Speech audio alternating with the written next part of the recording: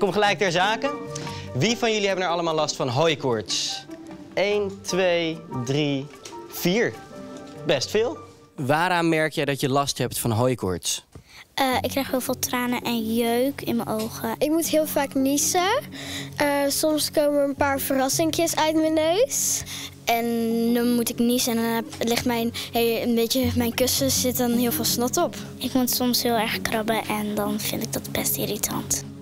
En Mohammed, jij hebt echt heel erg veel last van hooikoorts, hè? Vertel. Ik heb last van eczeem, van, ehm, van hoofdpijn, van, ik word ook soms moe. Eh, ik krijg soms, ehm, soms heb ik het benauwd.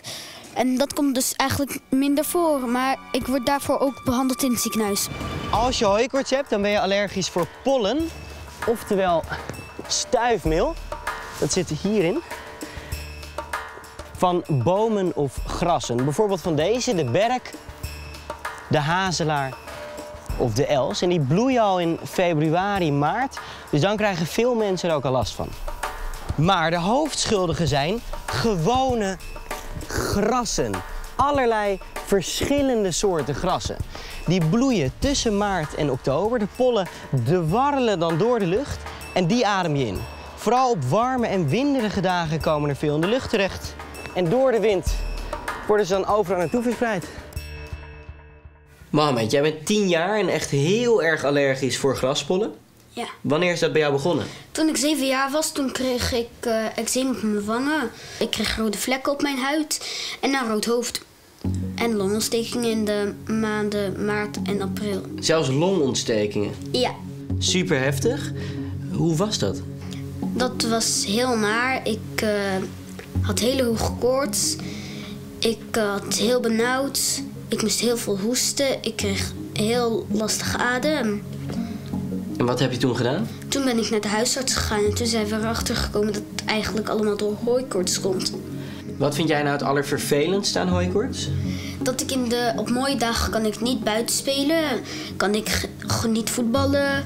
Ik kan ook niet met mijn vader in de tuin helpen. Met de planten verzorgen. Eten plukken. En de bloemen verzorgen.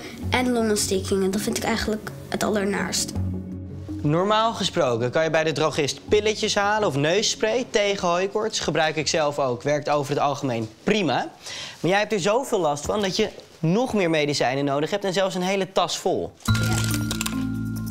Ik heb twee sterke antihistaminepillen die ik twee keer op een dag moet nemen. Nou, ik heb ook deze puffer die helpt tegen benauwdheid. Ik moet hem twee keer per dag nemen. Dat vind ik best wel fijn, want eh, het helpt gelijk. En dit is een neusspray die werkt tegen ontstekingen in je neus. Ja, en ik heb ook een pilletje. Als alles niet meer werkt, dan eh, moet ik deze gebruiken, want dat is eigenlijk eh, mijn laatste redding. Maar dat was het. Nee, ik krijg ook nog maandelijks een prik in het ziekenhuis. Zelfs prikken. Ja, Oké, nou dat is echt heel erg veel. Helemaal in vergelijking tot mij. Maar ik vind je een bikkel.